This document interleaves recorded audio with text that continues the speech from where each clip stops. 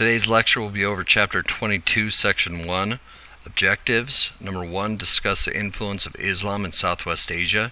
Number 2, describe the history of theocracy and colonialism in the region.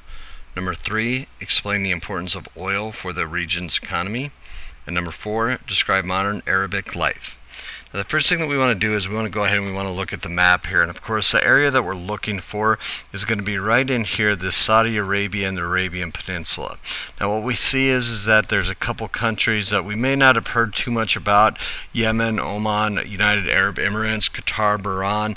Um, if you start kind of looking a little bit more at the um, first Gulf War, what we see is, is that we see Saudi Arabia is here along with Kuwait. Iraq, of course, is another country that we've been hearing quite a bit about. But a lot of the countries that we hear about right now in terms of what's going on in the world are going to be located right on the Mediterranean Sea. A question that this chapter kind of is, is trying to get to a, a long-winded answer is why is there so much fighting in this area? Now we talked about the physical parts of geography of this area. There's not a lot of water, there's a lot of oil, and that's going to make it so the economy becomes very rich. Also, when we started looking at the satellite right here, we saw that the Arabian Peninsula is very, very dry. But when we start looking right off the Mediterranean coast, that's where we're going to see a little bit more of the green area. Now, still uh, uh, semi-arid, but it's going to be a little bit more hospitable. One thing that we want to look at is we want to look at this little country right here, which when we kind of uh, pull out here, it's still going to be visible, and that's going to be Israel. Israel is going to be one of the most um, affected areas in regards to fighting that we see in the entire world. If we kind of zoom in, you can see the Gaza Strip, you can see the West Bank. These are all areas that have been fought over for a very long period of time. What the important part here is, is that Israel in 1948 is going to be given to the people um, that are the Jewish people. And what happens is, is that there are people that are living on this land that are Palestinian, which are going to be Muslims. And these two people are going to fight for a long period of time. Now, one of the things that we want to discuss today is, is that you have a lot of people in this area, again, because they're not going to live in other areas also what we see is is that this area is going to be very very um, sought after because of religious reasons so what we want to do today is that we want to take a little bit of a um, a, a, deeper look into the religions that are fighting. And the first thing we're going to do today is we're going to look at the Islamic religion. Now, the areas that we're looking at, we've discussed this already Bahrain, Kuwait, Oman, Saudi Arabia, Qatar, uh, United Arab Emirates, and Yemen. Now, what is happening during this time is that we have Bedouin nomads. And what they're doing is they're moving from oasis to oasis. Remember, that's underground water. That is areas that have a little bit of um, area that basically is going to make it so that the cattle, the uh, nomads, that the people, they're going to be able to live in these oases. Now, they're going to build strong family ties together. They're going to fight off other families, and they start developing fighting skills. These fighting skills are going to help spread the religion of Islam, and so the religion actually gets kind of pushed across the entire continent of Asia and Africa because it's going to be spread by these nomads. Now, Islam is going to be a religion based upon the uh, teaching of the founder of the Prophet Muhammad. Muhammad lived in Mecca, which is going to be Islam's holiest city. Now, in Islam, you're going to see the five, there are five pillars, and these five pillars are going to create a common culture. The first, first is going to be faith. They believe that all believers must testify that there is no God but Allah, and Muhammad is a messenger of Allah. The second is prayer, prayer facing Mecca five times a day. Also, they're going to go ahead and they're going to have a place of worship called a mosque. The third pillar of faith is going to be charity, where you're giving money to the less fortunate. Number four is fasting in the holy month of Ramadan. They don't eat and drink during daylight hours. And then the last pillar is going to be a pilgrimage. All Muslims should make a Hajj to Mecca once in their life. Now, when we kind of analyze the five pillars, um, a lot of the religions have very similar ones faith. Um, a lot of the religions, religions believe that there's one God, uh, again, the monotheistic religion, and that, of course, people should testify to that one God. Most of the religions have some sort of prayer, also have some sort of charity, also have some sort of fasting. But in the Islamic religion, it's a pilgrimage that really kind of sets it apart. Now, the spread of uh, Islam, you're going to see these armies of the Bedouin fighters are going to move across the deserts. They're going to conquer desert land, put Muslim leaders in control. That's one of the things that we kind of forget about when we start talking about people going out and taking other people's lands is that you're going to go ahead and you're going to take other people's lands, but at the same time, you have to instill a government that will continue to spread your um, your your culture and your beliefs.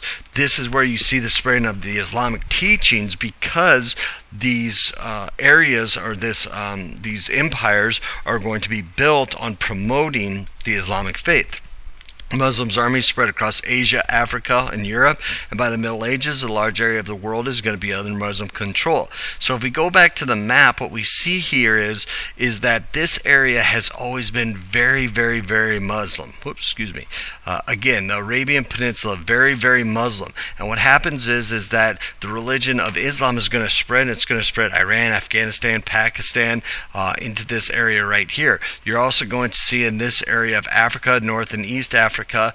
Uh, you're going to see the Islamic religion spreading into there as well. You could also go all the way into um, kind of northern uh, Asia um, and, and, almost all the way into northwestern um, Europe, uh, I should say southeastern Europe, when we start talking about some of these areas. Um, uh, you, you we kind of see that um, there's uh, the Muslim religion kind of spreading all over. So the, these uh, areas are going to be spread, and there's going to be a lot of fighting. Now, one of the things about the Muslim religion is that a lot of these countries are uh, theocratic, and what that means is is that your religious leaders are in control. Um, in the United States, we do not have a theocratic government. Um, a lot of our leaders that set up our government were religious, but it was actually Thomas Jefferson who said that our government should have freedom of religion religion. Anybody that wants to be religious uh, is going to be able to be is going to be able to practice any religion that they want. So what we see in these areas is is that they don't have freedom of religion. Their governments are set up by the Muslim governments. Now it's still true in modern nations such as Iran. In the late 1600s, Muslim nations start to weaken. Britain and France control most of the region after World War I, and this is where you start to see the fall of the Ottoman Empire. Uh, colonial values, uh, the Suez Canal is a vital link. We've talked about that before, and how it's basically is going to connect the Mediterranean Sea to the rest of the world. Instead of going through the Strait of Gibraltar, you're going to be able to use the Suez Canal. Um, Abdullah al-Aban is going, Sada is going to take control of most of the Arabian Peninsula, and this is where we get the name Saudi Arabia in 1932. Now, one of the predominant uh, groups that is going to get together is going to be called OPEC.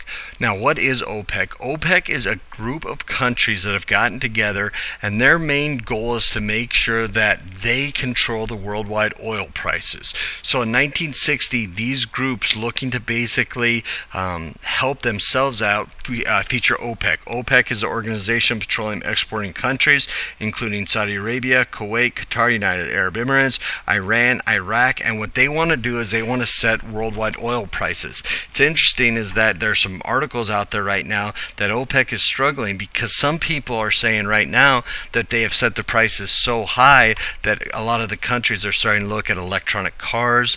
Um, they're trying to basically lower their dependency on oil. And if these countries, again, OPEC, if they don't have oil as as uh, making top dollar, they're going to start to struggle. And so OPEC has actually been fighting quite a bit and there's some countries that are saying um, we should do some different things. But if you look at these countries, the majority of them are going to be Muslim countries with a theocratic government. And so OPEC predominantly, not always, but predominantly, OPEC is going to be aimed at the United States and saying that they want to get the United States to stop helping Israel.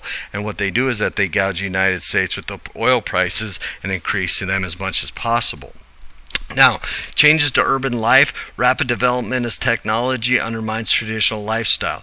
Trucks replaced camels, mall replaced marketplaces. Villagers, farmers, nomads moved to the cities. And again, we call this urbanization.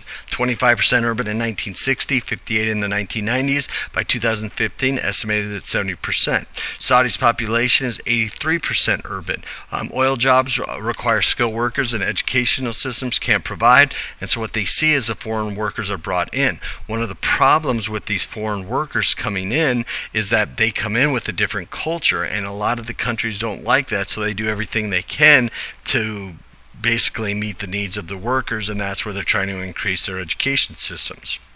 Now, women are going to go ahead and they're going to often cover their heads with veil, uh, vases with scarves and veils.